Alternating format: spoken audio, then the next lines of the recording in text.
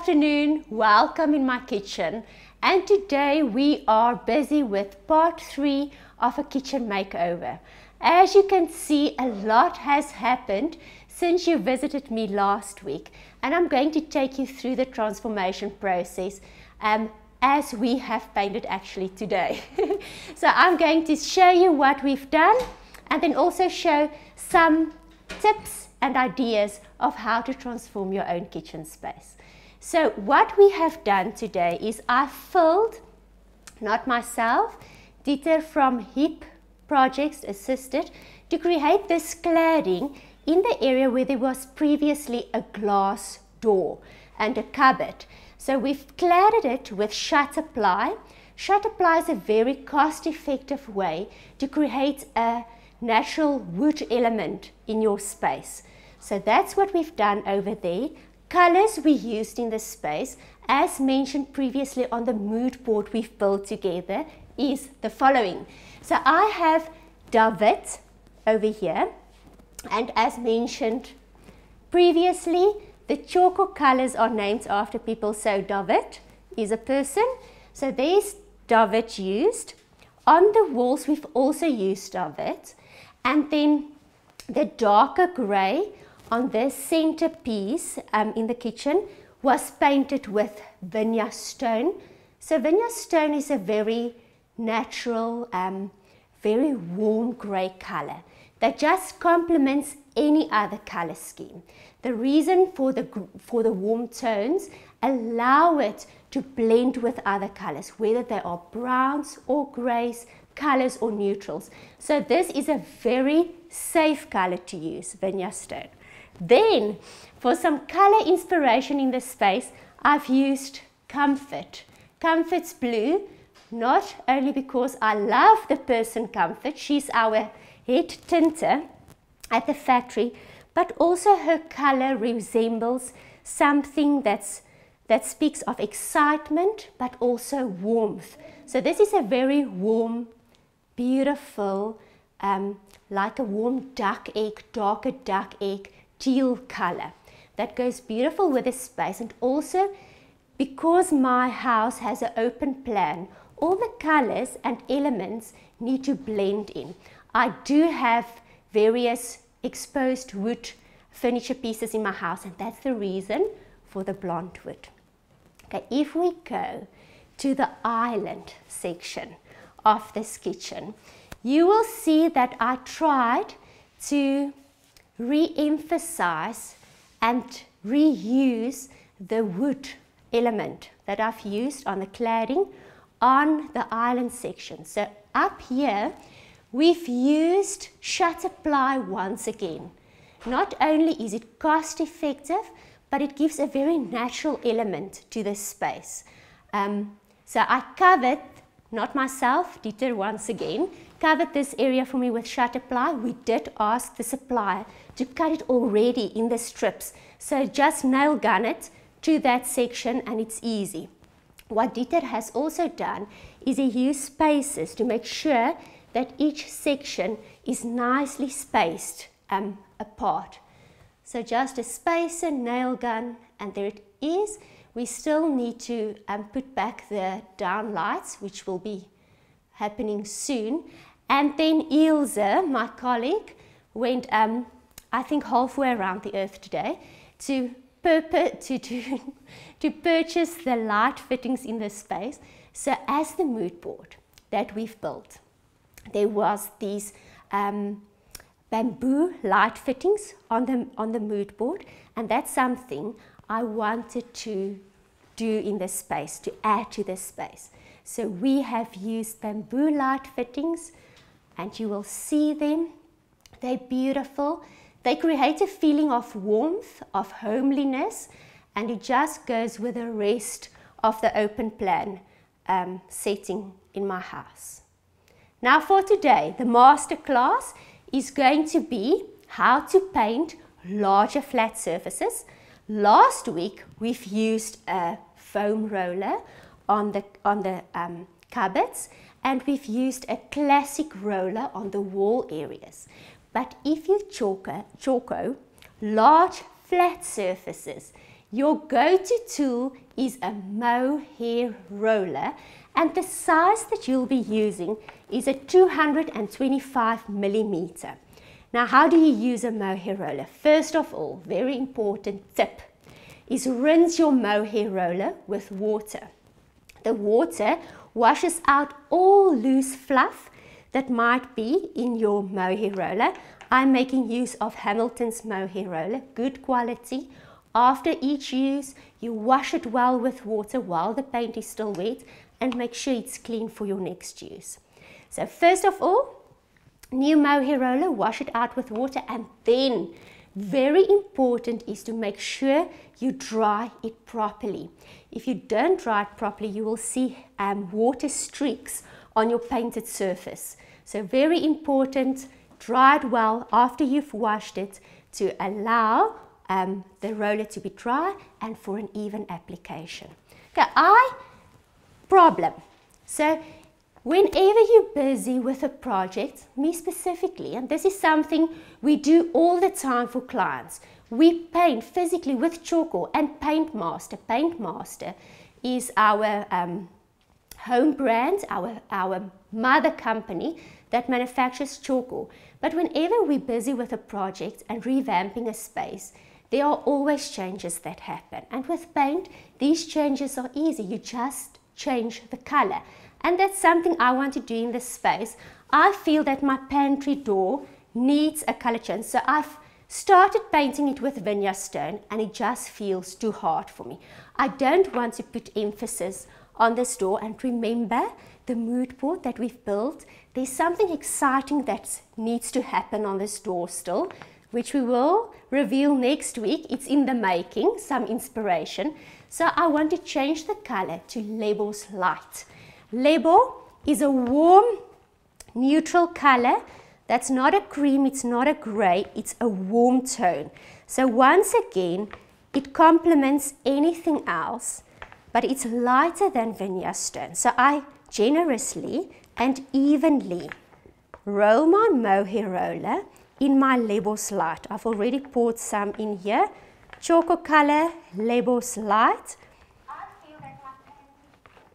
Now, I am going to roll it onto my door surface. Large flat surfaces, Moe roller for a very even, smooth application. I start in the center and I roll.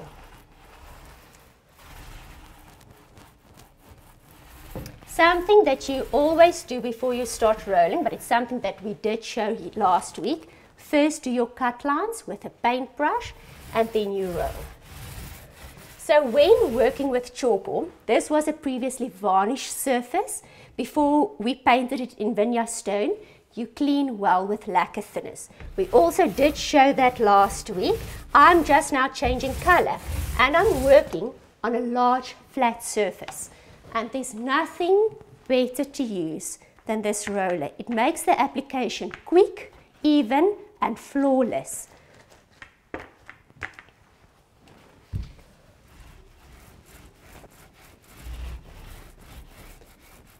Rolling. Make sure it's even everywhere. The nice thing about working with a roller is that you can change direction. So if I feel at the bottom, I want to move from left to right, instead of only up and down, I can do that.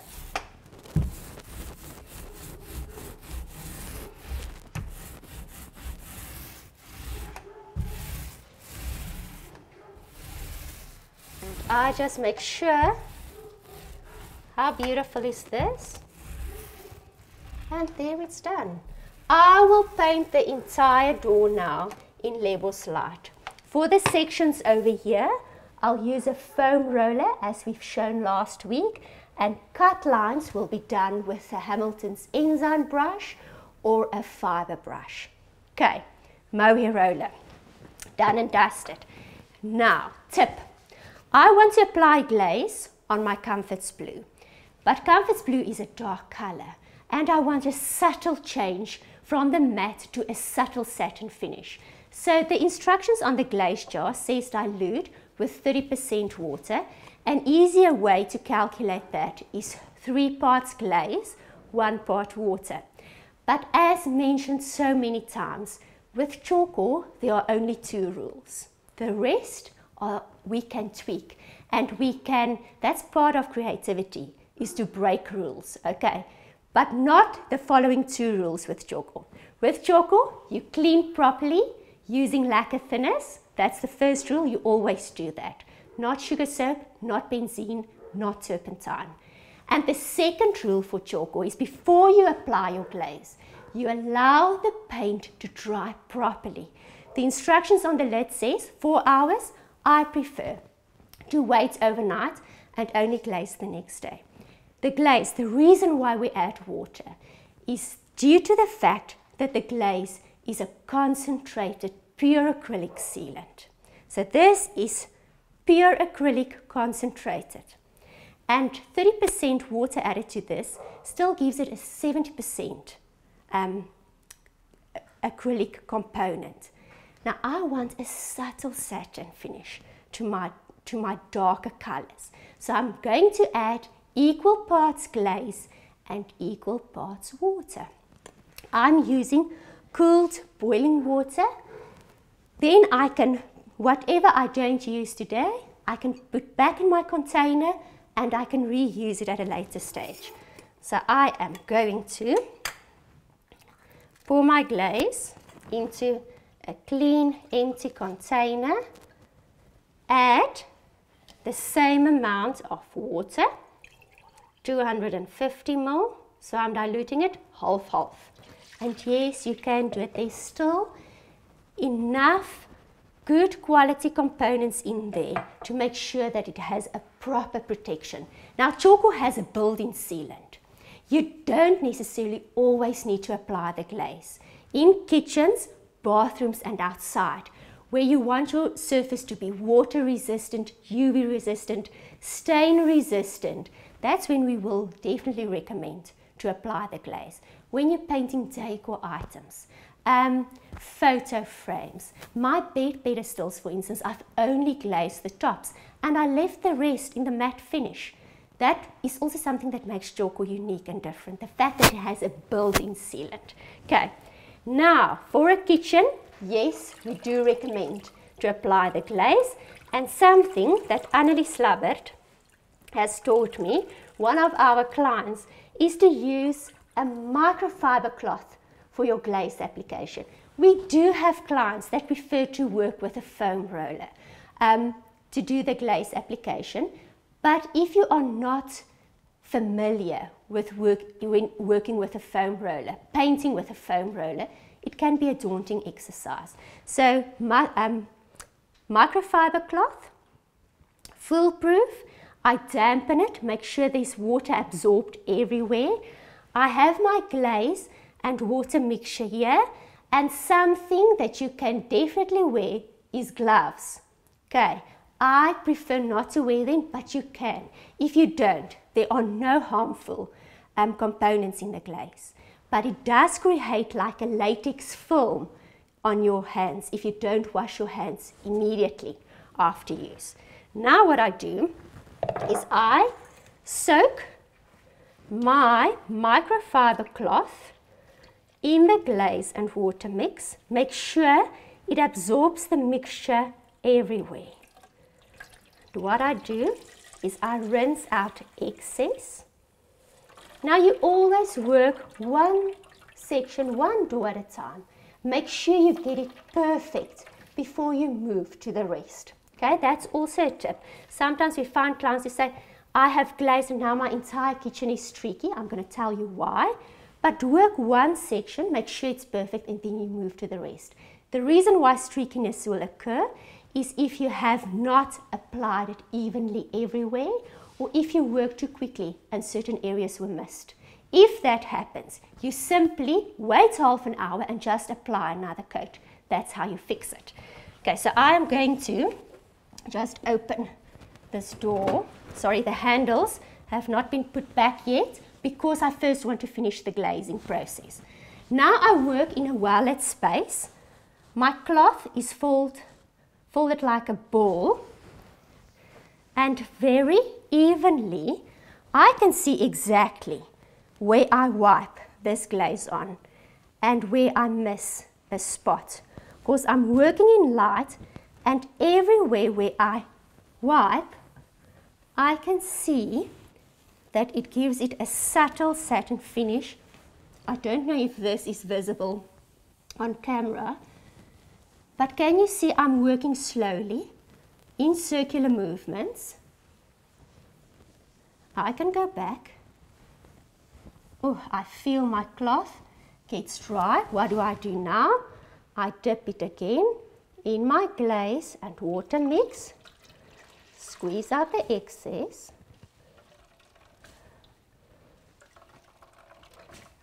Not too wet, not too dry. And I continue.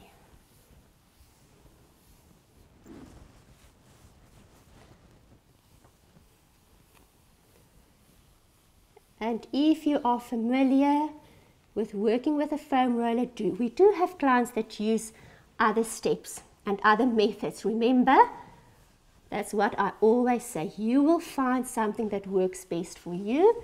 This is working for me. I will now allow this to dry for half an hour. See if there's anything. See, I just want to fix that. See if there's anything I want to change. And then I'll just add if necessary I'll add another coat. We have dogs. You you are with me. At my home Maestro has had a very um, tiring day. I just want to remove that because we had people in and out so he's been outside most of his day Okay, so I'm working in circular movements. Make sure I work in a well-lit space that I can see I apply the glaze evenly everywhere. There's a touch-up that needs to happen. Someone smudge this with some vinyl stone and this is the great part. Can I paint on top of glaze?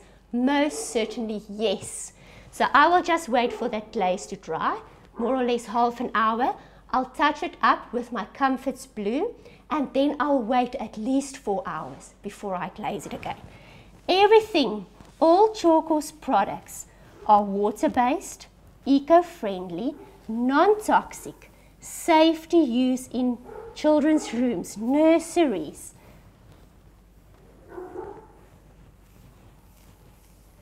And this is it.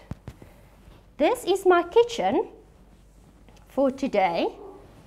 Wait half an hour, see if I want to apply a second coat to um, hide any imperfections and that's how easy it is. The clear glaze makes it water resistant, UV resistant and remember, Tjhoko is also a chalkboard paint. So say for instance you have done this to a fridge or to my door and I want to write with chalk on it. Whether I have glazed the surface or not, you can still use um, your surface as a chalkboard surface to write a menu, a note, your shopping list. Okay, let us know if you have any questions. Lee is on the other side answering them. I'll be on Facebook soon to assist. And I must say one thing. We are on our knees. Dan, do you want to stand up? Are you fine? Dan is fine. Dan is the, the person behind the cameras, and thank you for assisting I films. So um, we received all the Tjhoko Champs entries, and the 25 finalists were announced on Monday. I am extremely proud of every single entry. And if I could, I would personally send a gift to each and every person that entered this year was beyond remarkable. Well done. Well done on the 25 finalists. It's a very hard decision to announce a winner, but just know in your heart and even in mine that everybody, every single one of you is a winner. Um, we will be back next week, Thursday, same place, same time, and then the final touches styling and the final reveal of the kitchen will happen Also the scullery that you haven't seen yet. We will show some befores. Until then, stay creative, break rules. That's something that creativity is all about. And never ever be afraid to try new things. Okay.